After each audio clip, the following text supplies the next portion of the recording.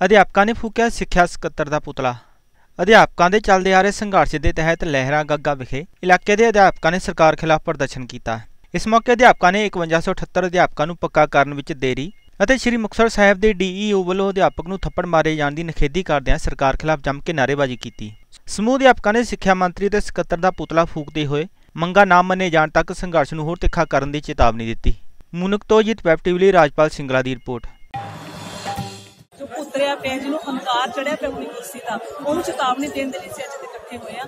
ਉਹਨੇ ਇੱਕ ਬਹੁਤ ਬੇਤੁਕਾ ਪ੍ਰੋਜੈਕਟ ਪੜੋ ਪੰਜਾਬ ਚਲਾਇਆ ਹੈ ਜਿਹੜਾ ਸਾਡੀ ਸਿੱਖਿਆ ਦਾ ਘਾਣ ਕਰ ਰਿਹਾ, ਸਾਡੇ ਬੱਚਿਆਂ ਦਾ ਬ੍ਰੇਨ ਵਾਸ਼ ਕਰ ਰਿਹਾ ਉਹਨਾਂ ਨੂੰ ਕ੍ਰੈਮਿੰਗ ਦੇ ਉੱਤੇ ਲਿਜਾ ਕੇ ਆਪਣੇ ਜਿਹੜੇ ਨਤੀਜੇ ਨੂੰ ਉੱਚਾ ਚੁੱਕਣ ਦੀ ਜਿਹੜੀ ਹੈ ਕ੍ਰਿਸ਼ਨ ਕੁਮਾਰ ਕੋਸ਼ਿਸ਼ ਕਰ ਰਿਹਾ ਤਾਂ ਕਿ ਪੰਜਾਬ ਦੇ ਵਿੱਚ ਉਹ ਇੱਕ ਨਾਮ ਨਾ ਖੱਟ ਸਕੇ, ਕਿ ਸਾਡੇ ਨਤੀਜੇ 100% ਹੋ ਜਾਣਗੇ ਸਾਨੂੰ ਗੁਣਾਤਮਕ ਸਿੱਖਿਆ ਚਾਹੀਦੀ ਹੈ। ਸਾਨੂੰ ਗੁਣਾਤਮਕ ਸਿੱਖਿਆ ਨਹੀਂ ਚਾਹੀਦੀ, ਜੋ ਉਹ ਸੋਚਣੇ ਚਾਹ ਰਿਹਾ ਵੀ 100% ਨਤੀਜੇ ਕਰਦੀ ਹੈ ਇਸ ਤਰ੍ਹਾਂ ਦੇ ਬੇਤੁਕੇ ਪ੍ਰੋਜੈਕਟ ਚਲਾ ਕੇ। ਸੋ ਅੱਜ ਅਸੀਂ ਉਸ ਦਾ ਪੂਰਨ ਬਾਈਕਾਟ ਕੀਤਾ ਸਕੂਲਾਂ ਦੇ ਵਿੱਚ ਕੋਈ ਅੰਤਿਮ ਜਾਂਚ ਜਿਹੜਾ ਸੰਗਰੂਰ ਜ਼ਿਲ੍ਹੇ ਦੇ ਵਿੱਚ ਨਹੀਂ ਹੋਈ ਹੈ, ਤੇ ਇਹ ਬਾਈਕਾਟ ਸਾਡਾ ਜਾਰੀ ਰਹੂਗਾ। ਕਿਉਂਕਿ ਅਸੀਂ ਕੋਈ ਵੀ ਇਸ ਤਰ੍ਹਾਂ ਦਾ ਪ੍ਰੋਜੈਕਟ ਨਹੀਂ ਚਲਾਵਾਂਗੇ ਸਕੂਲਾਂ ਵਿੱਚ ਜੋ ਸਾਡੇ ਬੱਚਿਆਂ ਦੇ ਹਿੱਤ ਵਿੱਚ, ਜੋ ਸਾਡੀ ਸਹੀ ਗੁਣਾਤਮਕ ਸਿੱਖਿਆ ਦੇ ਹਿੱਤ ਵਿੱਚ ਨਹੀਂ ਹੈ। ਦੂਸਰੀ ਗੱਲ, ਇਹਦੀ ਇੱਕ ਇਮੇਜ ਬਣੀ ਹੋਈ ਹੈ ਕਿ ਬੜਾ ਹੀ ਇਮਾਨਦਾਰ ਅਫਸਰ ਹੈ, ਜਿਹਨੂੰ ਮੈਂ ਤੁਹਾਨੂੰ ਅੱਜ ਸੱਚੀ ਚਿੱਠਾ ਦੱਸ ਰਹੀ ਹਾਂ। ਇਹਨੇ ਸਾਨੂੰ ਕਿਹਾ ਸੀ ਕੁੰਜਰ ਅਧਿਆਪਕਾਂ ਨੂੰ ਜਦੋਂ 31 ਦਸੰਬਰ ਨੂੰ ਸਾਡੇ ਜਿਹੜੇ ਇਹਦੇ ਨਾਲ ਮੀਟਿੰਗ ਹੋਈ ਸੀ 31 ਦਸੰਬਰ 2017 ਨੂੰ, ਕਿ ਤੁਸੀਂ ਸਮਾਂ ਵੇਖ ਲਓ ਕਿ ਜਦੋਂ ਤੁਹਾਡੇ 3 ਸਾਲ ਪੂਰੇ ਹੋ ਜਾਣਗੇ, ਅਗਲੇ ਦਿਨ ਇੱਕ ਘੜੀ, ਇੱਕ ਸਕਿੰਟ ਕਹਿੰਦਾ ਨੂੰ ਉੱਪਰ ਟੱਪਾ ਨਹੀਂ ਦਊਂਗਾ, ਤੇ ਤੁਹਾਡੇ ਘਰੇ ਰੈਗੂਲਰ ਦਾ ਨੋਟੀਫਿਕੇਸ਼ਨ ਤੁਹਾਨੂੰ ਆਊਗਾ, ਤੁਸੀਂ ਆਰਾਮ ਨਾਲ ਬੈਠ ਜਾਓ।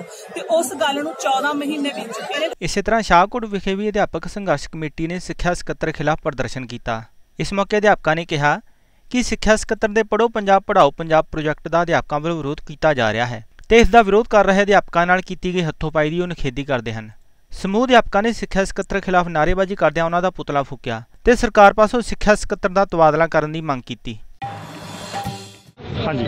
ਅਧਿਆਪਕ ਸੰਘਰਸ਼ ਕਮੇਟੀ ਪੰਜਾਬ ਦੇ ਸੱਦੇ ਤੇ ਅੱਜ ਸਿੱਖਿਆ ਸਕੱਤਰ ਕ੍ਰਿਸ਼ਨ ਕੁਮਾਰ ਜੀ ਦੇ ਪੁਤਲੇ ਫੂਕਣ ਦਾ ਜਿਹੜਾ ਫੈਸਲਾ ਕੀਤਾ ਗਿਆ ਸੀ, ਉਸ ਤਹਿਤ ਅੱਜ ਸਵੇਰ ਤੋਂ ਹੀ ਜਿਹੜੇ ਸਿੱਖਿਆ ਸਕੱਤਰ ਨੇ ਸਾਡੇ, ਉਹ ਬਜਟ ਸੀ ਕਿ ਮੈਂ ਪੜੋ ਪੰਜਾਬ ਪੜਾਓ ਪੰਜਾਬ ਪ੍ਰੋਜੈਕਟ ਦੀ ਜਿਹੜੀ ਪੋਸਟ ਟੈਸਟਿੰਗ ਕਰਵਾਉਣੀ ਆ, ਪਰ ਬਲਾਕ ਸ਼ਾਹਕੋਟ 1 ਅਤੇ ਬਲਾਕ ਸ਼ਾਹਕੋਟ 2 ਦੇ ਵਿੱਚ ਸਮੁੱਚੇ ਅਧਿਆਪਕਾਂ ਨੇ ਅੱਜ ਇਸ ਦਾ ਸਮੁੱਚਾ ਬਾਈਕਾਟ ਕਰਕੇ ਬਿਲਕੁਲ ਵੀ ਕਿਸੇ ਸਕੂਲ ਦੇ ਵਿੱਚ ਜਿਹੜੀ ਟੈਸਟਿੰਗ ਨਹੀਂ ਹੋਣ ਦਿੱਤੀ, ਟੀਮਾਂ ਨੂੰ ਜਿਹੜਾ ਫਰੰਟ ਲਿਫਾਫੇ ਨੂੰ ਮੋੜਿਆ ਗਿਆ, ਉਸ ਤੋਂ ਉਪਰੰਤ ਸਕੂਲਾਂ ਤੋਂ ਛੁੱਟੀ ਕਰਕੇ ਅੱਜ ਸਭ ਤੋਂ ਪਹਿਲਾਂ ਕਸਬੇ ਦੇ ਅੰਦਰ ਸਫਲ ਮੁਜ਼ਾਹਰਾ ਕਰਦੇ ਹੋਏ ਅੱਜ ਬੱਸ ਅੱਡੇ ਤੇ ਆ ਕੇ ਕ੍ਰਿਸ਼ਨ ਕੁਮਾਰ ਦੇ ਪੁਤਲੇ ਫੂਕੇ ਗਏ ਨੇ।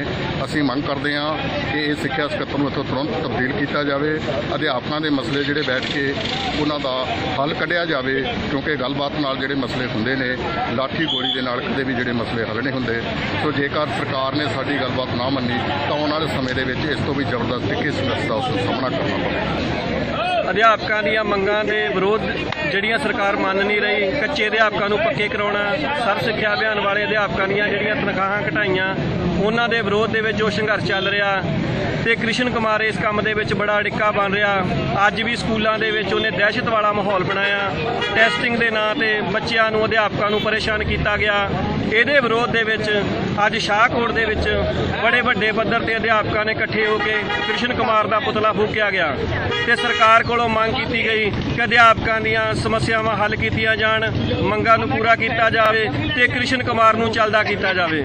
ਜਦੋਂ ਤੱਕ ਕ੍ਰਿਸ਼ਨ ਕੁਮਾਰ ਸਿੱਖਿਆ ਮਹਿਕਮੇ ਦੇ ਵਿੱਚ ਬੈਠਾ, ਇਹ ਕੋਈ ਵੀ ਸਿੱਖਿਆ ਮਹਿਕਮੇ ਸੁਧਾਰ ਨਹੀਂ ਹੋਣ ਦੇ ਰਿਹਾ। ਸਿੱਖਿਆ ਮਹਿਕਮੇ ਨੂੰ ਡੋਬਣ ਤੇ ਤੁਲਿਆ ਹੋਇਆ, ਅਧਿਆਪਕੇ ਦੇ ਵਿਰੋਧ ਆ ਤੇ ਆਪਣੀਆਂ ਮੰਗਾਂ ਮਨਾਉਣ ਲਈ ਵਜੇਦਿਆ ਤੇ ਇਸ ਕਰਕੇ ਅੱਜ ਇਹਦਾ ਪੁਤਲਾ ਫੂਕਿਆ ਤੇ ਸਰਕਾਰ ਕੋਲੋਂ ਦੁਬਾਰਾ ਫਿਰ ਮੰਗ ਕਰਦੇ ਆ ਕਿ ਕ੍ਰਿਸ਼ਨ ਕੁਮਾਰ ਨੂੰ ਇੱਥੋਂ ਦਫਾ ਕੀਤਾ ਜਾਵੇ ਤੇ ਅਧਿਆਪਕਾਂ ਦੀਆਂ ਮੰਗਾਂ ਮੰਨੀਆਂ ਜਾਣ।